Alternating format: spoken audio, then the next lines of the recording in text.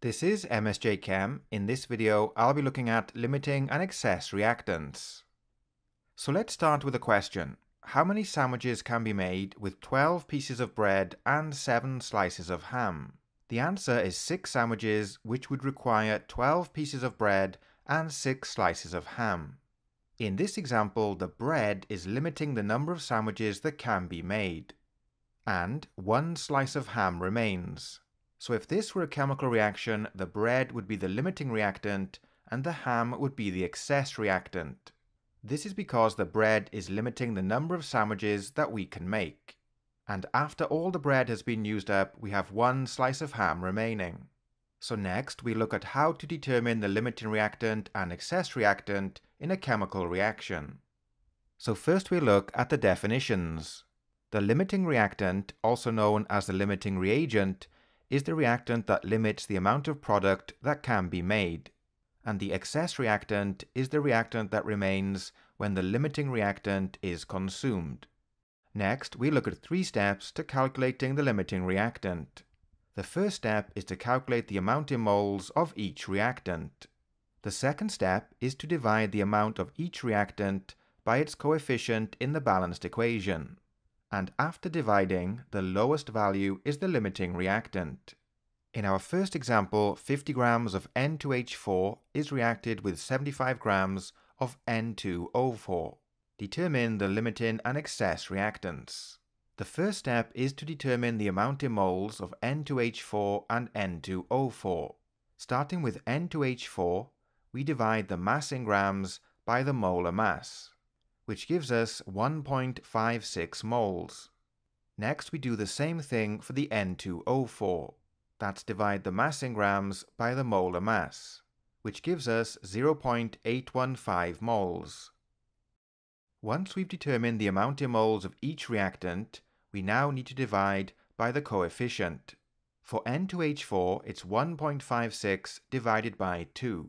The reason we divide by 2 is that the coefficient of the N2H4 in the balanced equation is 2, which gives us 0.780.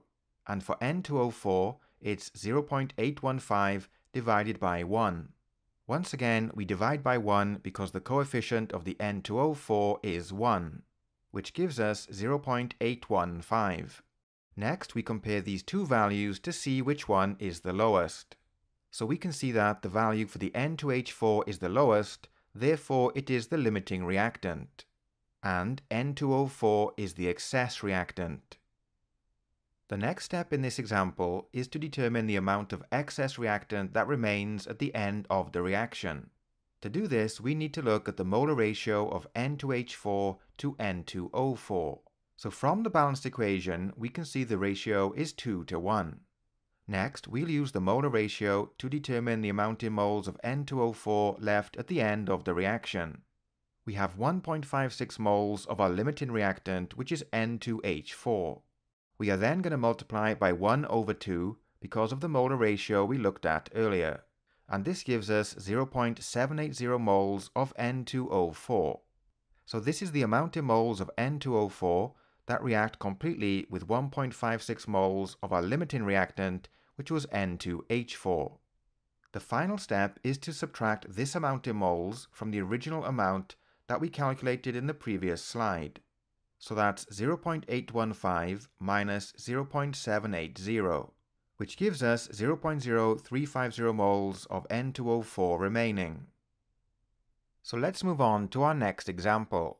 3 grams of zinc is reacted with 50 centimeters cubed of 1 mole per decimeter cubed HCl, which is hydrochloric acid. Determine the limiting and excess reactants. So first we'll determine the amount in moles of zinc. So like in the previous example, we'll divide the mass by the molar mass. And this gives us 0.0459 moles of zinc. To determine the amount in moles of HCl, we need to use the equation N equals CV, where N equals amount in moles, C is concentration in moles per decimeter cubed, and V is volume in decimeters cubed. Note that in the question, we're given the volume of the HCl in centimeters cubed. So in this step, we'll convert from centimeters cubed to decimeters cubed. So as we can see, 50 centimeters cubed is equal to 0.05 decimeters cubed. Next, we'll multiply the concentration in moles per decimeter cubed by the volume in decimeters cubed, and this gives us 0.05 moles of HCl. So the next step is to divide the amount in moles by the coefficient in the balanced equation. For zinc, the coefficient is 1, and for HCl, the coefficient is 2. So this gives us 0.0459 for the zinc and 0.0250 for the HCl. The lowest one is the limiting reactant, therefore it's the HCl, which means that zinc is the excess reactant. Next, we'll determine the amount of excess reactant that remains at the end of the reaction. To do this, we need to look at the molar ratio of zinc to HCl. From the balanced equation, we can see that 1 mole of zinc reacts with 2 moles of HCl. So in this step, we'll determine the amount in moles of zinc that react with the limiting reactant. To do this, we multiply the amount in moles of HCl by 1 over 2. This is because of the 1 to 2 molar ratio of zinc to HCl. So this gives us 0.0250 moles of zinc. So the final step is to subtract this amount from the amount in moles of zinc that we calculated in the previous slide. And this gives us 0.0209 moles of zinc remaining. So that's all from this video. In the next video, I'll be looking at how to calculate the theoretical yield.